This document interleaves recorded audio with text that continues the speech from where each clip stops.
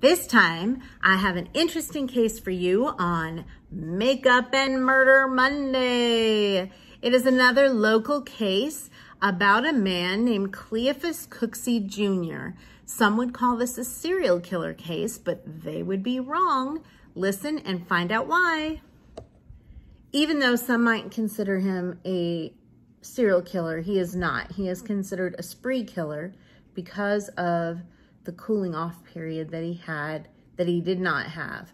Uh, most serial killers kill over years and not over a three week period like, like he did. So he's considered a spree killer, not a serial killer.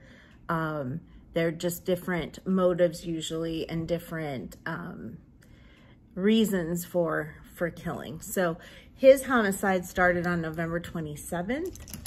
He killed two men on that day, Andrew Remillard and Parker Smith. On December 2nd, he killed Salem Richards. Um, uh, all of these men have been shot. On December 11th, um, he killed Jesus Real. And uh, three women have since been arrested for tampering with evidence in that particular case. On December 13th, he killed Latori Beckford, uh, died from multiple gunshot wounds. And then on December 15th, Christopher Cameron was killed, also died from several gunshot wounds. On December 15th, also Maria Villanueva was kidnapped at 58th Avenue, Avenue in Camelback and her body was found the very next day. Then on, the police say they started to investigate when an officer noted something suspicious about the first responding call to Cooksey. And so they decided to go ahead and look and see if it was him. Um, Police Chief Jerry Williams said that the ballistic evidence collected from each of the homicide scenes all made sense that it was indeed Cookie, Cooksey and tied him to all of the homicides. This is an ABC 15 news article that I got a lot of this information from, but I also went to like Wikipedia and stuff. Um, court records show that he had a previous criminal record. His previous criminal arrest record um, was from about 16 years prior and he had been arrested for robbery and manslaughter. So it's not like this guy didn't have, you know, um, some evidence that he already was kind of a, um, a violent guy.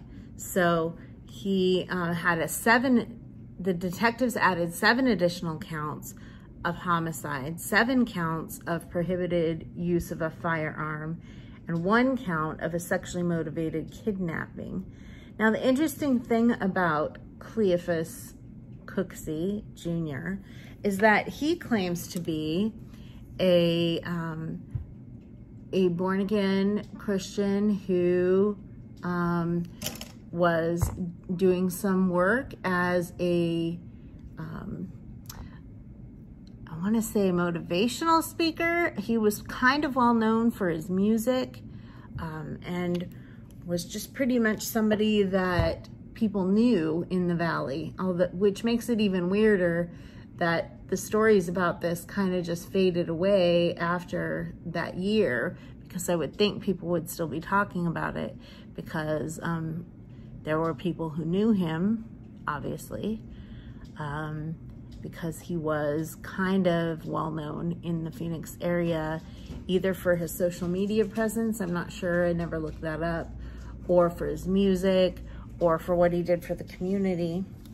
So it's a really kind of an interesting case that way. When the Phoenix New Times um, interviewed Cooksey, he told them he was a lover, not a fighter. Interesting.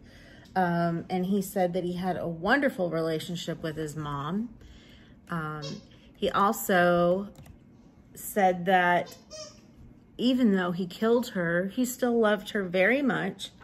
Um, and he said that he was a man of God. He's been reformed since he's been in prison or when he was in prison the first time.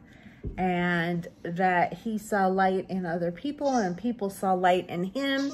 He claimed to be a ladies' man um, and said that when he was in high school, his nickname was Playboy. Um,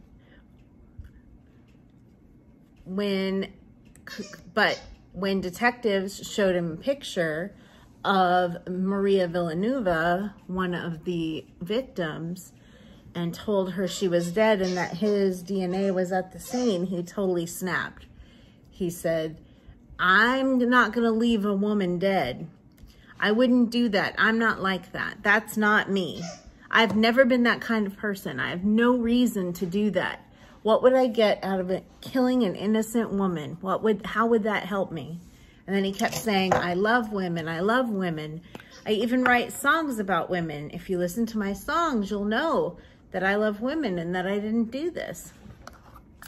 So they did go through and listen to some of his songs. Of course, I don't think just because you write songs about loving women means that you love them so much you're not going to kill them. Um, but when they asked him, well, then is there a light side to you and a dark side to you? Are there basically two Cooksies? Sorry that Hooch is going crazy over here with this toy. He doesn't ever do this except when I'm making videos, of course. Um, they said, nope. He's, Cooksey said, no, there's just one of me. Uh, I'm, I don't have two personalities or anything like that. So they were able to, in a three hour interview, come up with 345 pages of police reports. Um, and they said that they never got a motive for any of these fatal shootings. Um, unlike, um, you know, uh, the baseline killer, where they were able to get a little more detail about that but they said that this type of a crime where he killed that this many people is pretty close to what the baseline killer did. However, this is considered a spree killing. It is not considered a, um, a serial killer. They asked him, do you um, ever hear voices? Do you have any mental illnesses? And he kept saying, no, no, no. Um, but the neighbors say something different. They remember a very large uh, uh, argument, a very heated one, where they heard arguing about devils and demons, um, which he claims he did not do. Um, witness accounts also said that pretty much the same thing. There were bangs in the apartment. Um, it was actually a condo, but it used to be an apartment that my friend Angela lived in. Uh, I love that apartment um, complex. It was really cute and old fashioned and that is why this kind of stuck with me because I remember the place so well. Um, but inside the uh, condo, um, people recognized voices. One heard a man shouting at him using words like Satan. Um, some heard similar arguments from Cooksey within the past few months before this all happened. Um, could it be drugs? Could it be, I mean, what could it be? Then uh, there was a 911 call that they heard shots fired. Uh, they banged on it, announced a police president presence, and uh, Cooksey opened the door and said nothing was happening. Um, but he kept his right hand behind his back. Um, the authorities ordered him to come out with his hands up and he started to reach for something to his right, but thought better of it. He cracked the door and squeezed through, um, never giving the authorities a glimpse of what lay behind him. Uh, the officer asked him where all the blood came from that they saw, um, and he said he got a paper cut. Interesting. I got a paper cut yesterday, and um, uh, no, no blood, no blood. Um, Anyway, so the officer had no backup, and so he took him in the best that he could.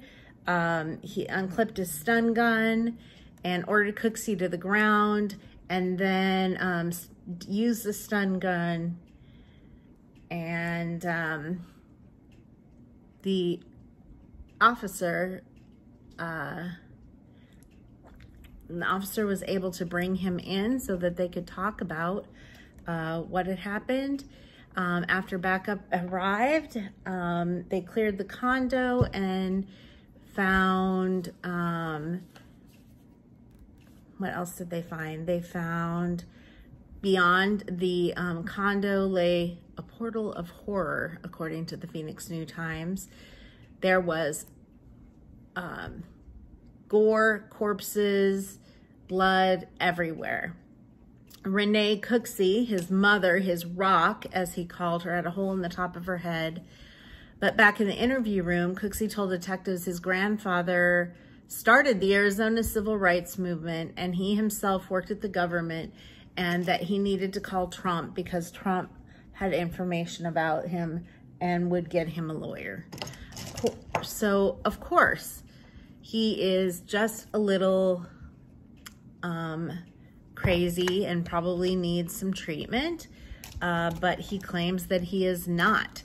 So, um, and let's see, and how it ended is, so in 2018, they were seeking the death penalty. Um, I am having trouble finding any information about whether or not that's what he was sentenced to. But if you know, can you drop it in the comments and let me know? It was a really interesting story because the local aspect.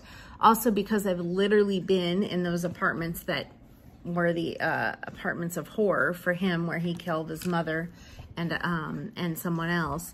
So the whole thing is just strange. But also the name Cleophus Cooksey Jr. is very hard to forget. Um, if you know any more about the case, let me know. And I will see you next time.